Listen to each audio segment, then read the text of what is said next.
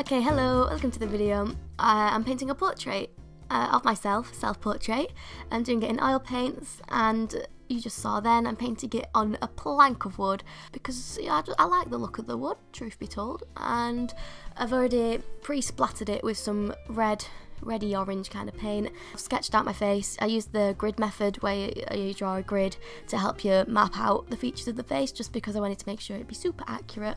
And now I'm, I'm getting to painting. You just saw then my palette. I'm only using primary colours, red, yellow, blue and obviously white and I think I use a tiny bit of brown actually to do this portrait just to make things quite simple so when I was mixing my colours I only really had two to choose, not two, three to choose from. Uh, the reason I'm doing this portrait is because a while ago in foundation we had a unit looking at colours and sort of abstract painting and just focusing on how colours interact with each other and what colours look nice next to each other and I, it inspired me and I, I just really wanted to try and make a portrait which included a lot more colour and had added the elements of the abstract painting with the portrait.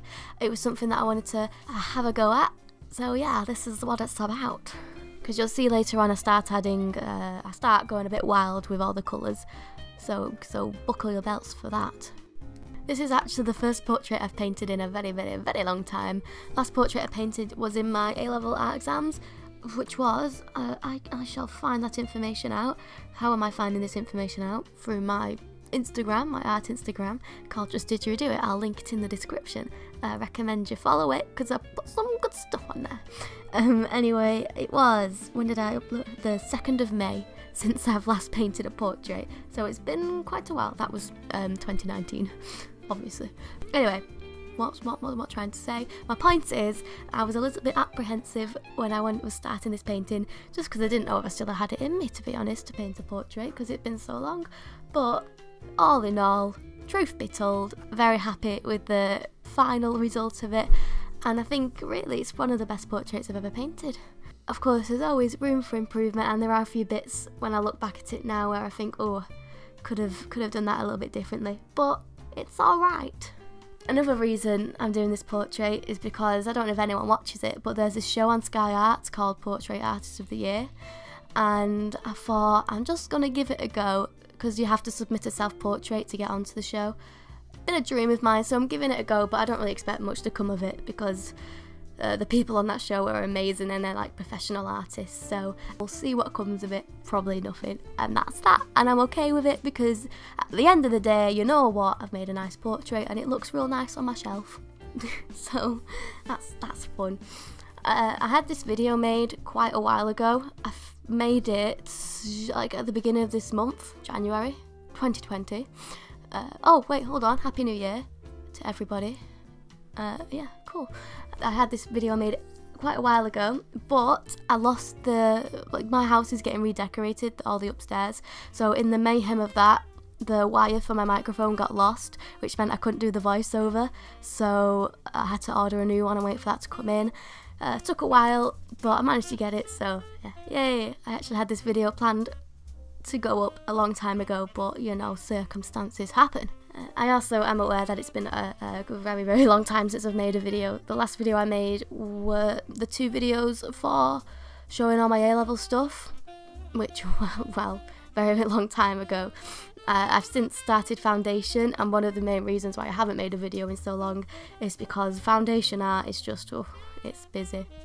I do not have a lot of free time, but hey, if you'd like to keep up to date with my shenanigans, I've mentioned it before, I'll say it again.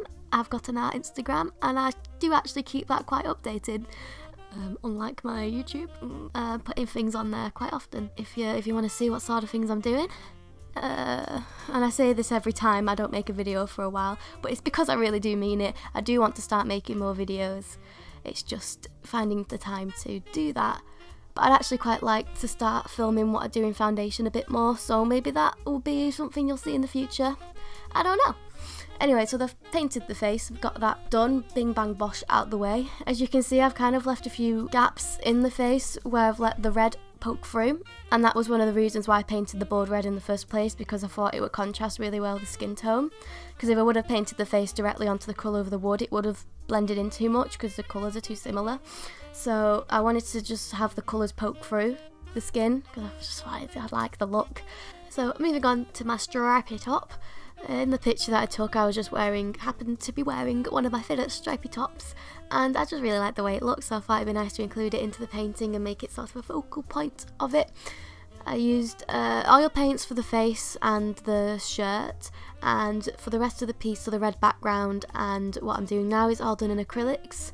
Um, and all of my paints are by the brand Winsor Newton, in case anyone would like to know. You can also see I like to water down my acrylics with water. no way. Because I like it, it makes them kind of translucent and gives them quite a textured look. Uh, before I started painting on the portrait, I added a layer of glue to the plank of wood just to make it easier to apply the oil paint. But then like this cool thing happened where when I started painting the watered down acrylic on top, it kind of made all the uh, the the glue underneath kind of crack. So you, you'll see in a bit when I do the close-ups. There's all like these cracks in areas and I just I like the way it looked and it was a happy little accident. So as you can see I've moved on to adding the blocks of colours and I didn't just pick these colours randomly, I had a little bit of thought behind them. Uh, I just, uh, for some reason I've just really liked the combination of red and pink together, that's like my favourite colour combination. And then I added the blue because it contrasts nicely with the red and the colours also in the top so I wanted to bring that through you know, so you'd see a bit more. And then I just added a few browns and then creamish tones, just so the piece wasn't too colourful. And I also added a big block of pink down towards the bottom to make sure the piece wasn't too overcrowded and cluttered, so there was a little space where your eyes could rest and there was just a little bit of nothing going on. Um, but yeah, there you go. That's a plank of wood with my face on it. I uh, hope you like the video and thank you very much for watching. Uh, it's been a pleasure. Goodbye.